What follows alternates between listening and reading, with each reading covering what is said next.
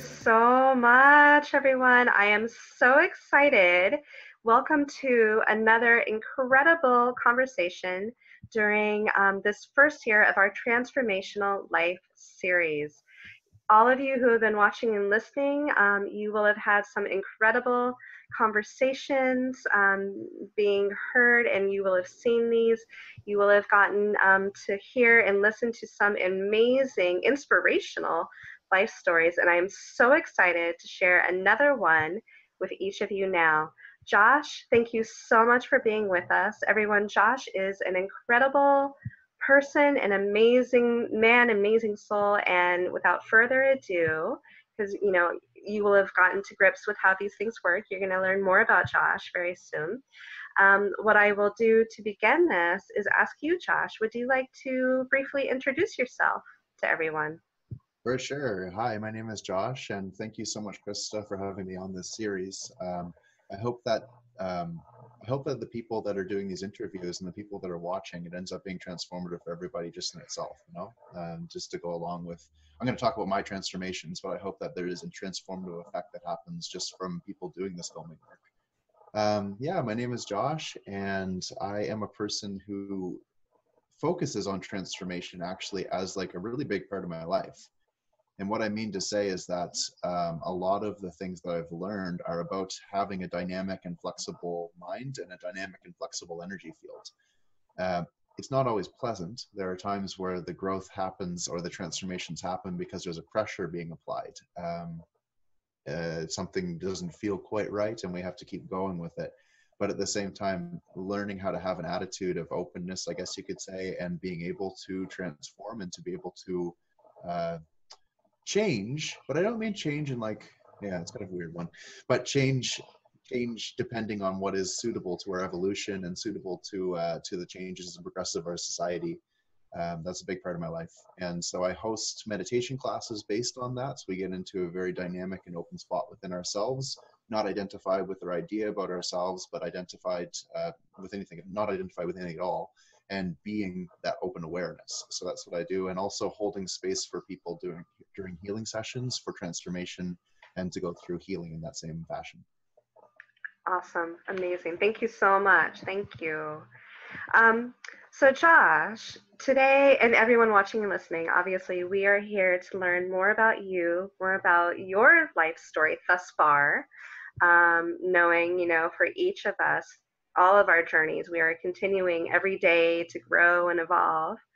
Um, today we're speaking with you, Josh, and you know, a great place to start for a lot of us when we look at your life journey so far is at the beginning. So, some of your early years, early experiences.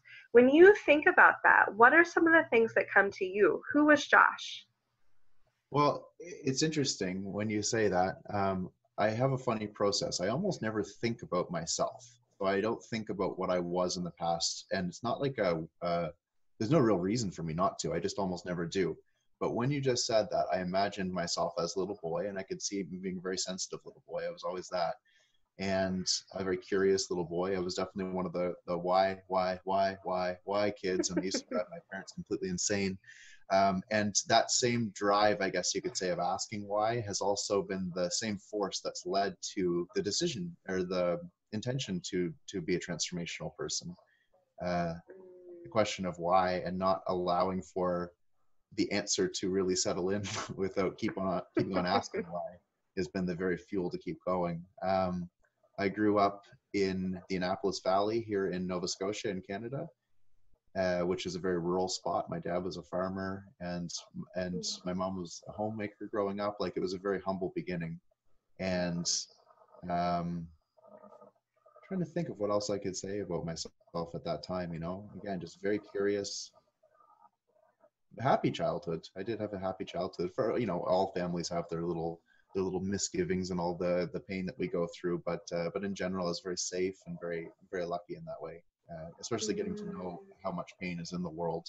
I feel very, very blessed and uh, appreciate very much the upbringing that I had. Um, but yeah, I don't really know what else to say about my actual childhood, but that's just because, again, I almost never think of it.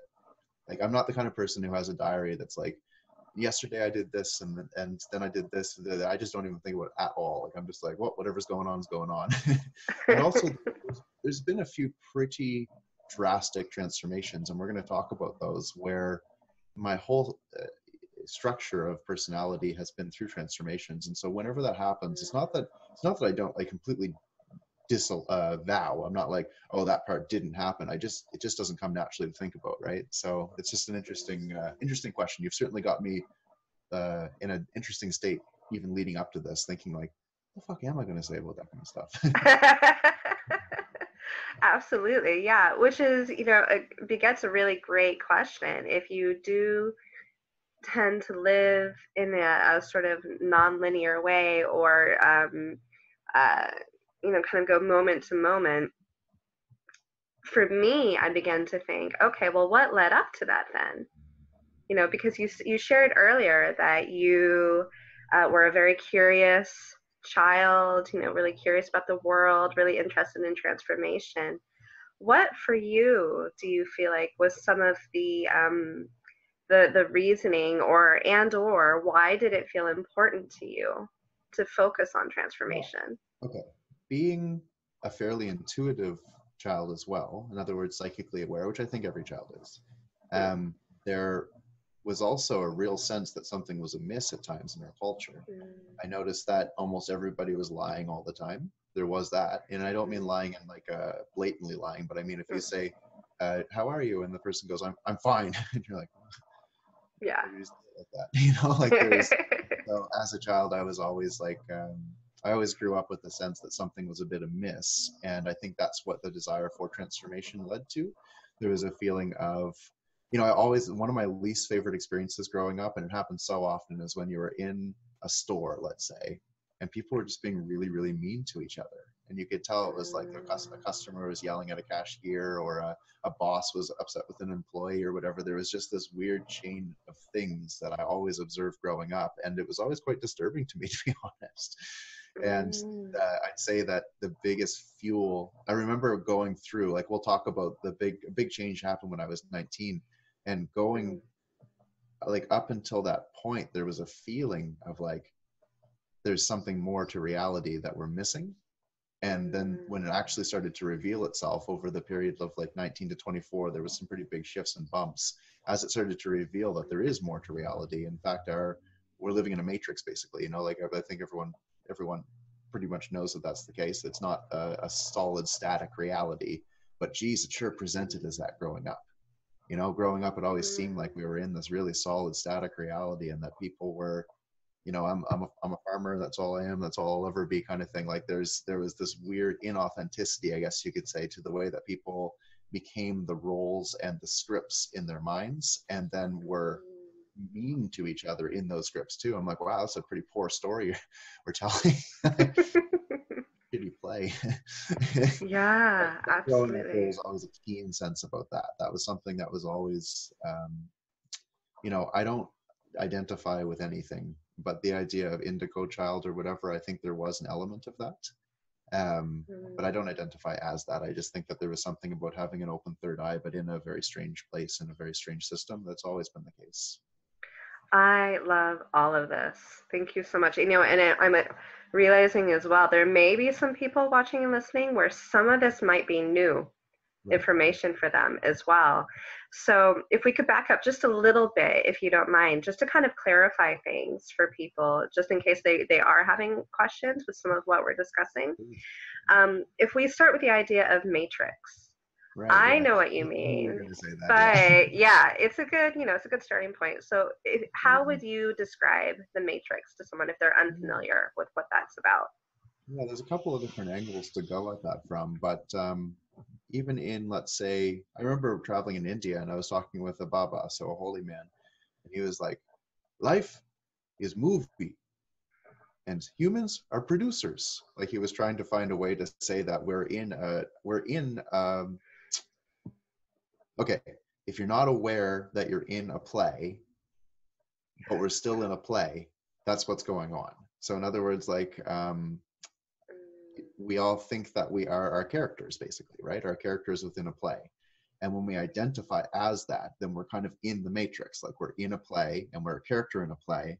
But ultimately, our souls are are not that, you know. And so the movie The Matrix, when Neo realizes, "Holy crap!" and he pops out of it and he's able to see that he's not just a person in, in a world, but actually there's a whole th- sort of like fabric in behind the whole thing. That is true for our reality as well, um, in my experience. And recognizing that we are in this matrix or whatever i don't like i don't even call it that normally it's just it just seems like an easy way to talk about it mm. um, recognizing that we're in it then we actually have a bit of uh, consciousness or presence that can come into it and we're not just running the scripts that we were taught either through generational and familial upbringing or cultural upbringing or from the scripts that we have written ourselves um, that we take very very seriously especially if we write them again uh, when we're young and we're looking for safety and security and all that kind of stuff which is what we're all looking for to some extent. Um, it's really easy to get into the script of the character and to only to not be able to break that you know what i mean? Like don't get me wrong it's nice to have a little character it's nice to have a little script but not being able to break that means we get stuck in a so- solid um, solid mindset and then we're locked into the play so again in in hinduism uh, i'm not hindu but in hinduism they talk about the atman being the the source, if you will, the the one God creative force and behind it all, and that we're all part of this play. And when a person realizes that they're not just their character, but they're actually connected to the whole, then they realize the Atman within themselves.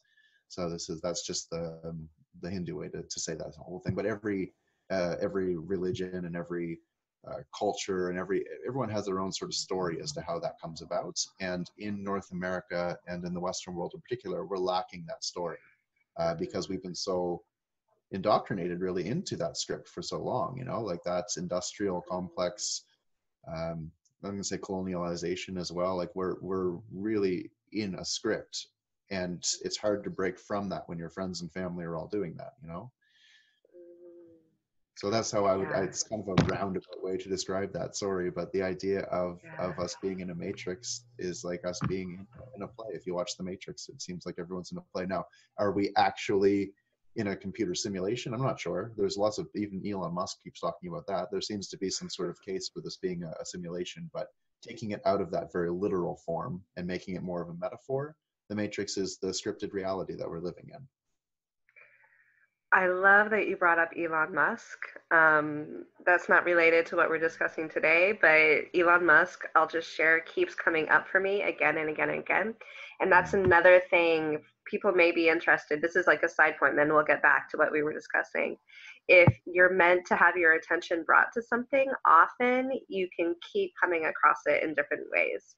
So this is just one example of that. But anyway, yeah, let's get back. Elon Musk is, is, is the white rabbit in the situation. yeah. Yeah, yeah, yeah, yeah, yeah. I will talk more about that with you later.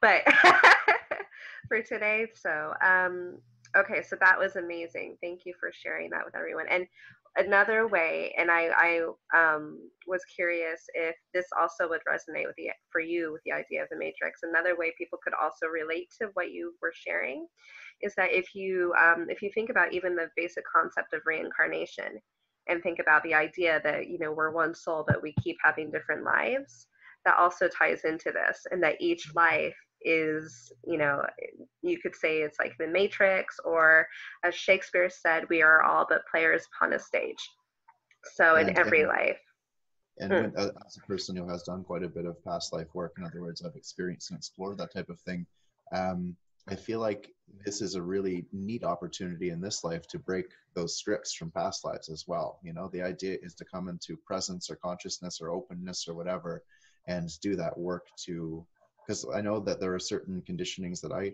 grew up with that when I did some work and, and looked into it, it did come from from past life conditioning as well as cultural as well as familial and all that kind of stuff. Yeah. Yeah, yeah, absolutely, absolutely. So if we go on really quickly to the next term you mentioned, in case people are wondering, um, the next thing you mentioned that people might be curious about is the idea of the indigo child. Now, again, I know what you're referring to, but that might be new for some mm-hmm. people. So how would you describe that? There's actually really important teachings that say that when we call children indigo children, we're actually doing them a disservice because we're giving them an identity that they might uh, identify with and not actually be, they might rescript that and then not be in their openness. Okay, so I just want to give that as a clarifier. I'm not a person who's pushing any particular ideologies. Um, but the idea is that there is a shift in global consciousness that's happening. And a part of that is that a lot of people have been incarnated which have open third eyes. So hmm. indigo is on the chakra spe- spectrum is this color of the third eye. And again, I would argue that hmm. everybody in their truest form already is open that way. So it's not necessarily a special thing. However, there does seem to be an awful lot of people that came in around this time period all at once that had that openness to be able to see through scripts, to be able to have deep intuition. There's just again, um, as a person who's studied a lot of um, Buddhism and and that sort of training, it's important not to identify with those things because I have met people who have almost been disserviced by being labeled children by their parents. Okay, so I just want to say that there seems to be people that are more tapped in, I guess you could say, to these realms of consciousness, and we could call them indigo people. But it's better not to call anybody anything, and just to allow people to keep doing their doing their thing. Mm, I love that. Yeah, yeah, absolutely. And and I'm curious with all of that, how important has it been for you to be able to break free from labels? Do you because you mentioned um, that you know you've come across quite a few people who for them it's been very important not to be necessarily categorized in one way. Especially and yeah. Yeah. Yeah. Is that something you've come across in your journey at all? certainly. I mean even being even being called a man really is a disservice mm. you know? I i don't identify mm. as being a human being even necessarily. Now don't get me wrong humanistic qualities of openness and empathy and love are super important. Um, but I think that if we identify with a certain characteristic within ourselves, or we identify with um, with being anything other than just being, then that would be the opposite, at least, of meditation, right? So I've done a lot of work to decondition any sort of identities or labels that uh, that are that are on me.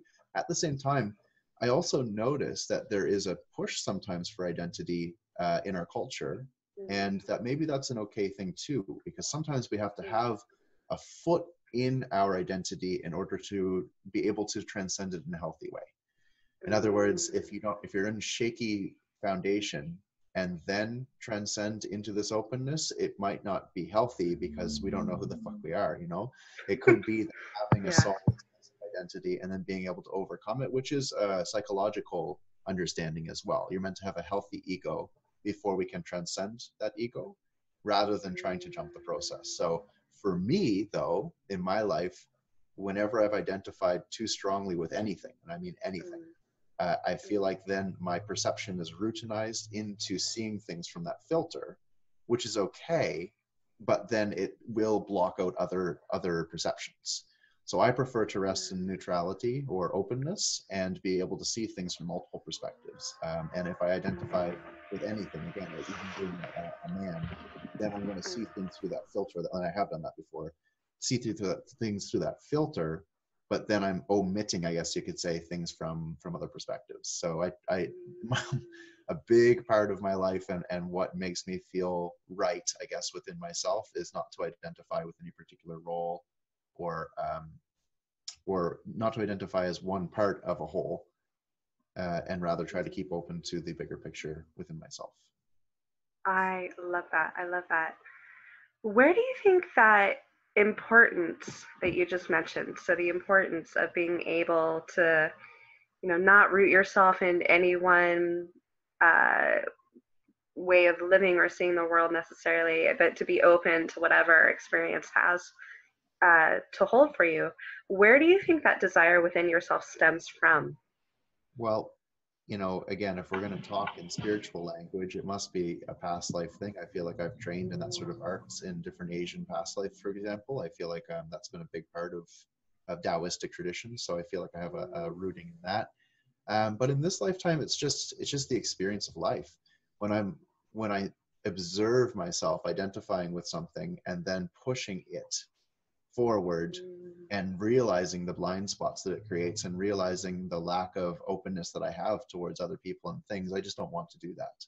So for me, I don't think it's necessarily um, one source or one cause but it's just that if i actually am aware in my life i can see the the potential negativity that it causes uh, krishnamurti Mm. if you know who he is um, is a Um, I think so. Indian philosopher i'm not again i don't i don't follow any teachers necessarily but one thing he said was that by proclaiming even that you are a christian or a hindu or anything by saying i Mm. am a and then inserting something it is an act of violence to some extent because it means that we're Mm. separating ourselves from other people and uh, the stronger the identity yeah the more separation we're putting between ourselves and other identities right so that's just that's Mm. just the way that um, i've studied and trained i suppose right i don't know but again yeah if i just i look if just very directly if i do that it creates a separation which will create a certain uh, either drama or uh, lack of understanding or uh, filtering and i don't like that i don't like that Mm, mm. So, would you rather be? Would an um, an additional thought to that? Would it also perhaps be that you would rather be connected? sure yeah Yeah, wouldn't, wouldn't we all you'd think right i mean that's yeah, yeah, yeah. Absolutely, absolutely. Now, backing, switching gears a little bit, but also backing up a little bit. Um, you mentioned earlier um, a couple times in your life, in your life journey thus far, that really helped to shape things for you and were very transformative. And one of them you mentioned as being when you were 19. Would Yeah. that experience have been another one that um, the result of it was you really uh, thinking differently, but also um, realizing that there was an opportunity to, to transform in a, in a deeper way? Yeah. Well, what happened was um, my dad went through a transformation and became a yoga teacher, and I was always.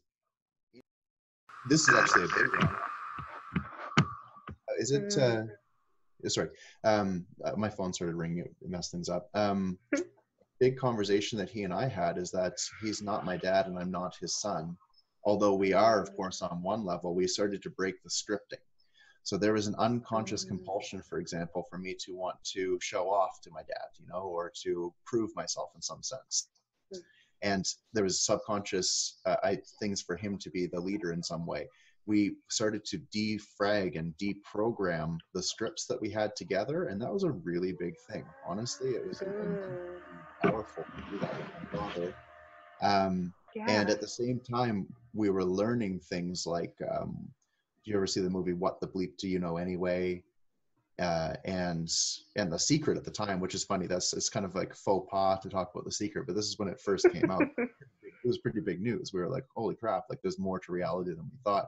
And so, Yeah. as a 19 year old, I'm 33 now, so 14 years ago, going through that transformation, starting to starting to tap into those were very surface teachings at first, especially the secret. That was a very surface teaching, but it led to something more. It led to an understanding that I'm not the script uh, that I that I've been conditioned to be, um, but something else. And actually, a part of that transformation, just breaking the script, I started to eat differently, and I started to Mm, think differently about myself and i started to be more positive about about the way i thought about myself and my body went through a massive transformation so i lost a lot of weight and i consider it emotional weight you know?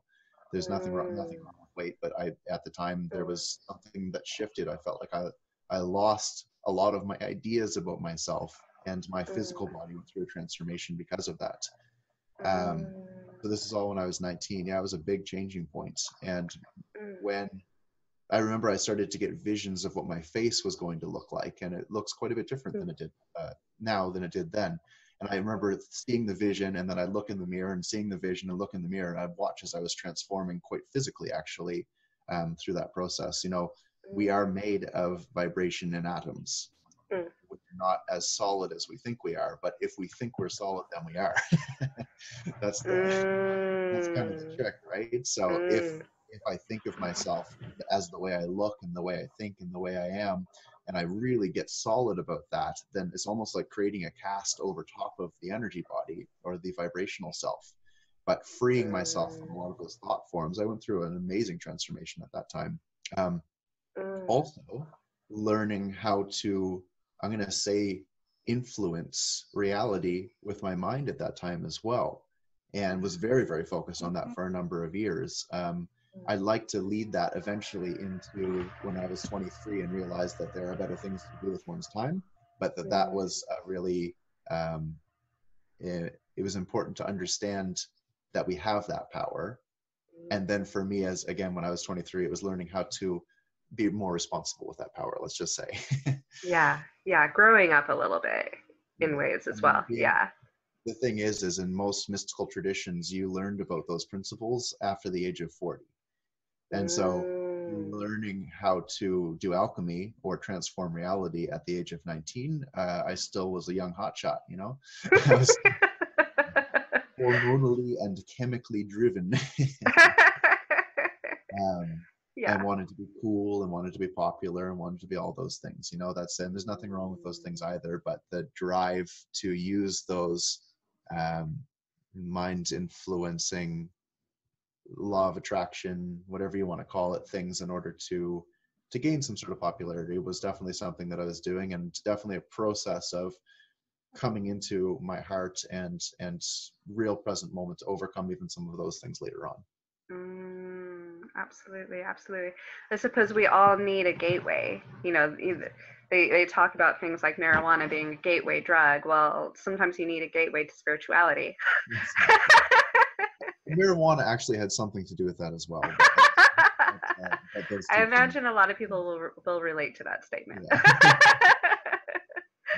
we, could, we could do a section in this talk about uh, my relationship to different psychedelics and stuff. I've had pretty extensive experience and, and, don't really at all anymore, but that was a part of my, the big part of my life. Mm, yeah, I relate to that. And I feel like as well for a lot of people that, and you know, you can let me know um, if this, if you connect with this as well, but in my experience anyway, those sorts of things, they can be sort of a fundamental part of growing up, okay. growing experience, you know, and some of the Especially, things you do when you're younger and you're exploring. Well, especially in a culture without rituals of coming into age. You know, we don't have mm. a lot of turning points. In fact, everything is quite routinized so that we go and we go to school and we get a job. We da, da, da, da, da. There's not always a break from that pattern. And mm. um, that when I was 19, I was actually going to be a computer programmer until that oh, point. Wow. And when I went through a big, sh- I took school and everything, and and even worked out for a little while afterwards. But that was a big shift to realize um, that I didn't want to do those types of things. I didn't want to follow the script, and and marijuana was a part of that. Yeah, but it was mm. I, I almost that almost dismisses or minimizes the rest of it, which was not just mm. marijuana. Like that was a, a small mm. part of what's happening. And the understanding of scripting, the understanding of awareness of our mind and the way that it operates was absolutely first, and those other parts were just parts along the way. Mm. So did that happen? What you've just shared? Um, you know, having even worked as a programmer and so on and then realizing that it wasn't for you. Was that also around the age of 23 or was or did that come later? Yeah, no that was 1920 yeah that was like that was that was all like i went to school at 18 19 right and bro- moved out on my own realized the nature of reality and was like fuck this and started to just do my own thing. I worked at restaurants and stuff but it became this joyous thing to connect with people on deeper and different levels and outside of scripts. Like that was the the main point of my life from that point forward and still is you know like uh, we don't again i'm not perfect. We all fall into different things. We all fall into different identities and woundings and all these things but mm. sitting with people in open space and being with people with that potential edge of transformation i guess you could say. In other words anything is possible is something that's a really important thing in my life and was from that point forward. Mm, I okay, so a few things. I love what you've shared and and it feels like that idea of anything is possible. That feels very powerful. And also, um, I'm curious about, well, let's start with this. Why was that so important for you to know that anything is possible? Well, obviously, because the opposite was the case for a long time. I remember mm. looking at myself in the mirror as a teenager and thinking I was ugly, you know, as mm. looking at um, just really buying into my scripting and conditioning. And again, mm. I'm not talking about this from a higher than thou place. Last week, I found something inside myself where I was like, shit, like that's a static point, you know, like ongoing everlasting process but that was a very very large reality jump from one real total i thought this is the way i was going to be forever into something totally different. And that was uh yeah. um so this is just we're just talking about bigger transformations but transformations are also an ongoing process. And as i deal with my own wounding and the culture's wounding and the collective and stuff like where is an ongoing process.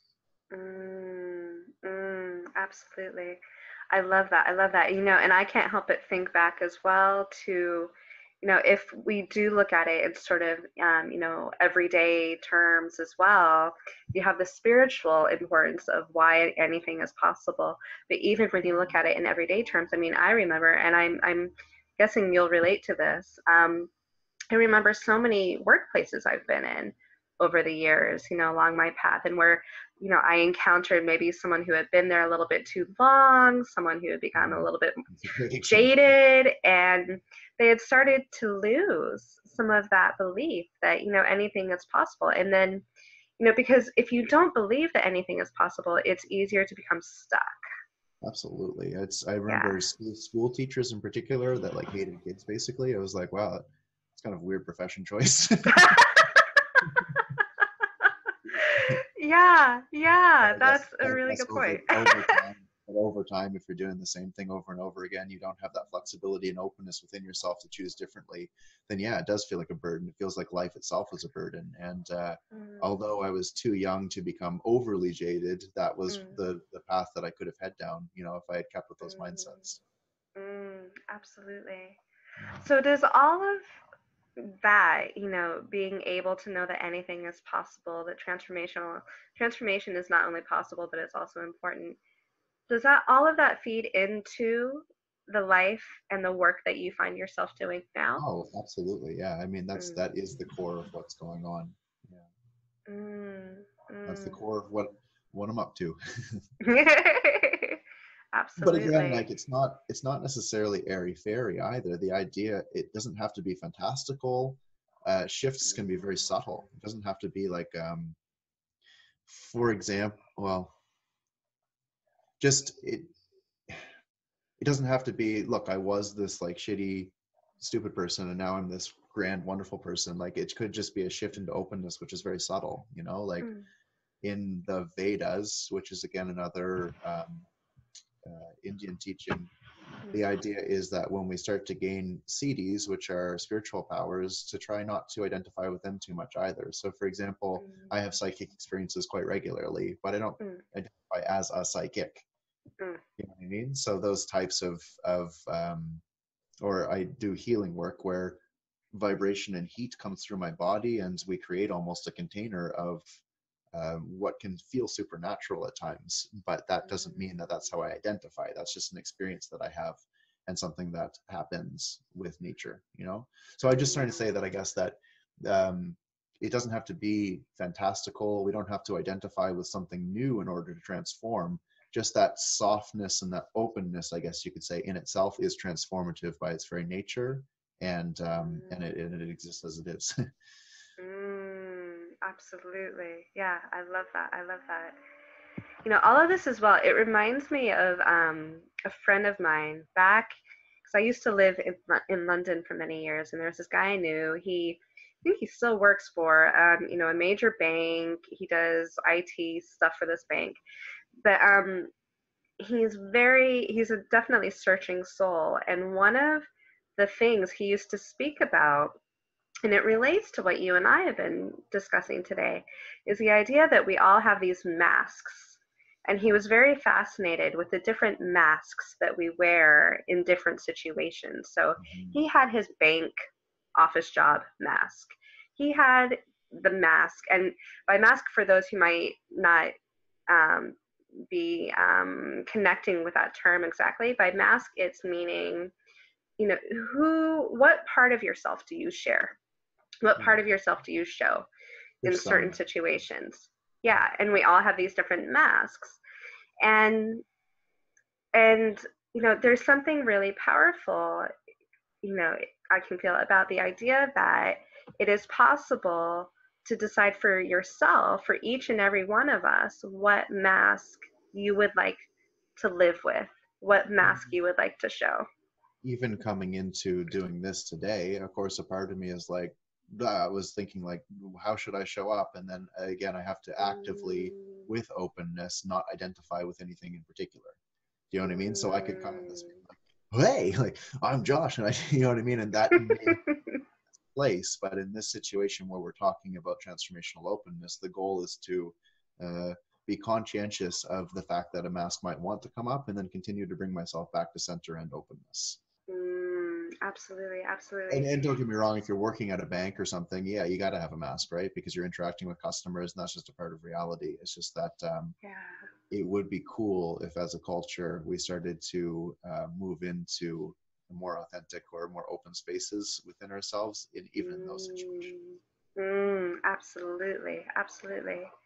You know, one thing as well that's striking me with all of this is um, how young you were when you began to make some of these really big realizations you know and and took action on them so they became big transformations for you in your life um, mm-hmm. you know you you touched upon it a little bit earlier when you said you know some of what you were realizing for yourself and um, and how it shifted things for you some of those are things that you know for some people they may not hit until they're closer to their 40s you know maybe even later in life um, what for you do you feel like allowed you to be able to come to those realizations so early? You mentioned your dad became a yoga teacher. Was that one of the the? Yeah, that that helps for sure. Um, mm. I don't know. I think it might just be the dharma or the karma of the situation, though. You know, like when when I tapped into the past life structure again, there's been different uh, times and places where this work has been uh, very natural and important to me. So I think that it's just the dharma of my life. You know, like I don't think that I'm special and that it's happening because I, I I'm somehow better or different than other people, but I do feel like this is just a part of my path, and I have met mm. many others um, going forward who are quite young who go through transformations like this as well. I've met quite, I mean, at this point, this is my job, right? So I spend a lot of time mm. with people um, talking about these things. I'm finding there are lots of people that jump in early now um, at the time, I remember uh, going through this these transformations with a couple of friends, like especially when I was 23, there was a couple more bumps, and I was doing it with friends, and we were all like, "Wow, I can't believe this is happening at this time! Like this is mm. such a big, unique thing." Um, uh, mm. uh, opportunity, I guess you could say, to go through these shifts in consciousness uh, at that youngness. I remember us kind of like being like, "Whoa, like this is crazy! I can't believe we're going through this right now." but at the same time yeah i don't think that it's like necessarily a specialness or or whatever it's just it is what it is it is what it is and i think indicative over time uh, because that potential energy or that openness i guess is very available to people right now if they choose to open to it you know like there's I don't know exactly why that is, but it just is. You know, some people talk about the Mayan calendar. There's so many explanations for the whole thing um, that are New Age and uh, and and religious and there's all sorts of reasons that i could jump to but i try not to jump to the reason and just appreciate that it's it is happening as it is. Mm, but i would give if i know people are watching this specifically because they're interested in transformation i would mm. suggest that anybody can open up to these parts of themselves that are beyond their mask or beyond their uh, scripts. Like there is that silent part of the self it was the same when you were a child it'll be the same when you're 80 years old. There's a silent part of the self an openness that already exists on the inside. Mm-hmm. so it's not about cultivating something new it's about realizing what already exists if that makes sense. Mm, absolutely absolutely. Would another way to say that um, would, would it also be accurate then to say that the core part of each of us so you know the people watching and listening you me anyone would the core part of our i don't know you could call it the essence that makes you you or your core desired beliefs or you know whatever would it be accurate then also to say that that core part of you never really changes that's uh, there's a lot of teachings that say that that is the, the, the there's permanence and impermanence. The permanence part is that openness or that background soul or silence and the impermanence is everything else which includes our bodies minds experiences perceptions. Uh, that is the core teaching of most of those mystical traditions is that the, the permanency is the silence or the openness and the impermanence is everything else. Mm, i love that i love that so for you then you've spoken a bit about how you know transformation and the idea of that you know anything is possible that that has become and it is uh, an, an important part of the work that you do and how you help others. Where do you see yourself potentially going from here that's a good question it's funny i'm in kind of a flux area in my life right now where um, i'm not a hundred percent sure as to where i'm going I feel like the energy of our time right now is very much on healing. There's a lot of wounding coming up. There's a lot of pain coming to the surface in many, many people. And so I think that right now my goal is just to hold space for that as best I possibly can. Um. In in the future, I'd like to continue creating spaces though where that openness exists. Me and uh, five friends opened and maintained a spiritual center for two years uh, that ended mm. and the goal it was called the center and the goal was to have it be an open space so that people from all walks of life without any particular religious or philosophical um, um, affiliations basically could come in and just be in that open space that we were talking about before and and it was mm. Spoken of just like that when people came in they went oh wow something just shifted. I feel a little bit different. I, I sense something a little more open inside myself. And that's the goal is to continue creating those spaces as much as possible and to be and hold that space within myself as much as possible. But I don't really have a, a future aspiration other than that. And to perhaps write books with, uh, with these same teachings in them or, um, or do these types of video conferences or whatever. I, I would like to continue doing that, but I don't have anything much more than that. Recently, I was able to come and do Reiki and meditation at uh, a couple of businesses. Mm. And that was really beautiful because businesses are the current accessible space, I guess you could say, in our culture. And so, mm. being a person who is fairly anti capitalist, I'm not anti anything, but I'm not particularly fond of our system being mm. able to go into those places where these things are happening and bring openness and bring a level of connection to the people that were working there was very, very fulfilling. So I would like to keep doing that for sure. Absolutely. I love that. I love that. You know, and just from my experience, um, I've worked in, I've had a very interesting path, but anyway, I'll share that another time. But from my, just the experience I've had in the private sector, um, you know, so businesses, corporate, the corporate world, and so on, that's definitely what you're doing and sharing with people absolutely is very needed. And there are loads of studies as well and research that show the um, the, the the the positive results and the importance of helping people on those you know sort of like holistic um, some might may call it spiritual levels yeah. and actually how it helps overall mm-hmm. Mm. It, and it felt fulfilling coming out of it. What was interesting to me is that I don't think that I don't think that the people coming really knew what they were getting into, which I thought was kind of interesting.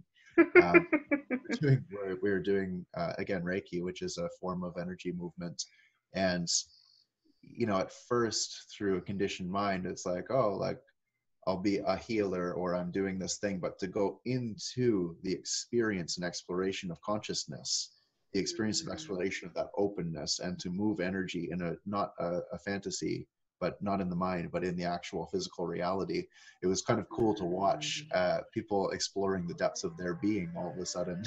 Yeah. I think yeah. they thought they were going to just like a regular old seminar or something.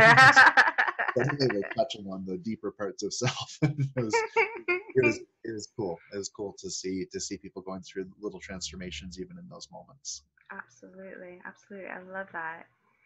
You know, as we, I feel like we could talk all day, and I have loved this conversation. This feels so very powerful, and you know, we've touched on some really deep topics, but in you know, accessible ways for people.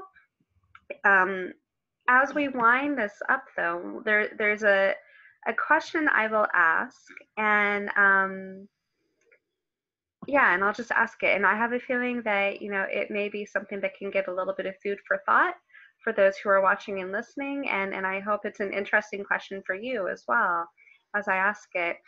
Um, when you think about your life journey so far, so you know, thinking back to, you know, little Josh as a little boy through to your teenage years, you know, early adult years, and the person you are, the person you're, you're continuing to become. If you were able to share with the world or you know to to someone who is important for you one sort of um, takeaway from you what would you like them to be left with? What would be sort of um, i don't know key message or what would you like them to know um, well again that in behind your eyes will feel like there is a script or a thought form um, that is the character that we we think we are. Um, mm. But ultimately, if you keep going even further behind your eyes, you're going to find that part of the self that's connected um, in the deepest part of your being, and that the way to change the world, let's just say, would be for many, many people to be connected into that deeper part of their being. Mm. And I hope beyond hope that that's where we're going and that we're going to start to build new systems or a culture based around those principles of being and openness. Um, I know that it's possible to transform. I mm. know that it's possible to take the negative, wounded experiences that we have on the inside and work with those as well, mm. finding healing and liberation in those spaces. And again, it's not necessarily a one shot deal. I'm still going through processes myself regularly, but that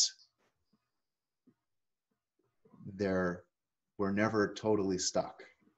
We're never mm. totally lost. We're never totally stagnant. There's always an ability to keep growing and shifting and finding again that the deepest part of our being already exists. So when people talk about finding themselves, it's not an outward process you know it's good to explore different things in the outward world but ultimately what we're looking for is what we already have and what we already are um, that is a then teaching that i think is very important for our world right now especially a world with so much information and opportunity it's really important to remember that that's that which we're seeking is already on the inside beautiful beautiful that feels like an amazing way to to close this and end this part for now. I love that. You know, if people are who have been watching and listening um, and have heard what you do, heard about you, if they would like to connect with you and learn more about how they could receive help and support and more about what you do, how can they do that? It's a good question. I was working at a healing fair over the weekend and people kept saying, you must have business cards. And I went, oh, no, I don't even have those. um, I'm, not, I'm, not, a particularly good, I'm getting better, but I'm not a particularly good business person. Um, connecting with me over Facebook, which is Josh Coleman, um, email joshua.coleman at gmail.com. Probably that would be the best two ways to do it because I travel quite a bit. So I'll be uh, able to access the internet more than anything else. Um, mm I think yeah, I'd say those would be the two ways to do that. And I do again one-to-one sessions where I just sit in openness with people, and I find when you hold that open space and when you're connected to your own being, that there's a resonance that happens, and the person can tap into this quite easily.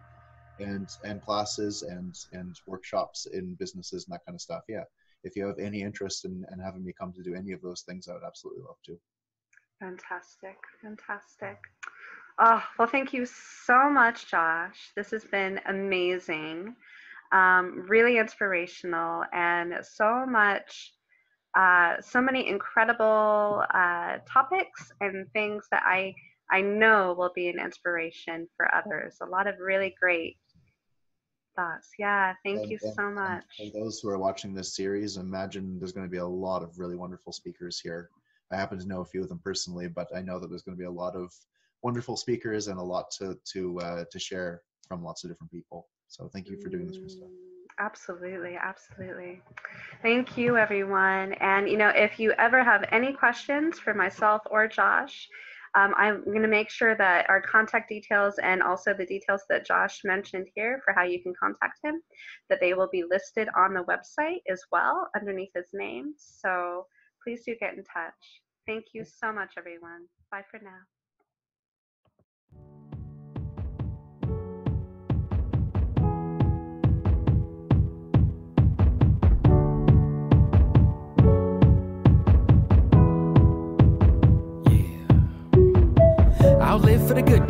Days. I'll dream of the great nights. I'll live for the ones I lost. Slide us up, we gonna meet in the afterlife. It's all sacrifice. I got the appetite to be a better man. Let's unite. My story like a motion picture.